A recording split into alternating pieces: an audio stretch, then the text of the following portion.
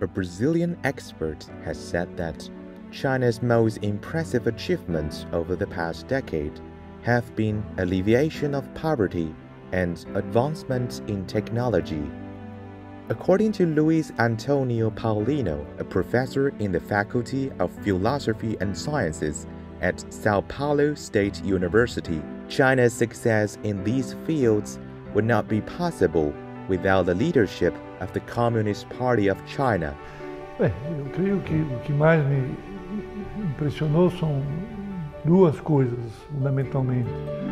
Uma foi o, sucesso da China é, na, no combate e, e, na eliminação da pobreza. E a segunda foi é, o enorme avanço tecnológico é, experimentado né, pela economia chinesa. Eu creio que esses dois aspectos foram, para mim, os aspectos mais relevantes né, desses últimos dez anos. Né? A eliminação da pobreza e o avanço é, tecnológico. Bom, creio que, que sem a, a liderança né, do, do, do, Partido Comunista da China, essas conquistas é, seriam impossíveis.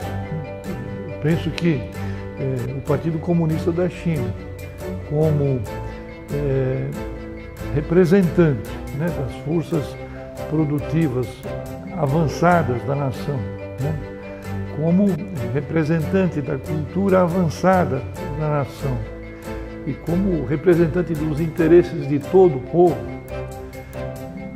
ele é a única organização que tem essa capacidade né, de unir né, o conjunto da nação, o conjunto do povo, em torno desse grande objetivo de rejuvenescimento da nação chinesa. Eu creio que é, sem o Partido Comunista Chinês na liderança, tudo que foi conseguido até agora seria impossível.